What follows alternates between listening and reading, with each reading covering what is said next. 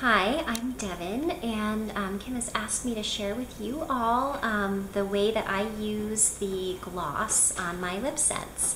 And um, what I do is I love the matte gloss a lot. Um, I use that right after I um, do the three layers of color. I love bright colors, so the matte kind of um, tones it down. It creates a really nice matte look, but then I use the glossy gloss throughout the day to keep my lips moisturized and I just really love the combination of both glosses so I use the matte um, after I do the color and then I use the glossy um, throughout the day and I love it.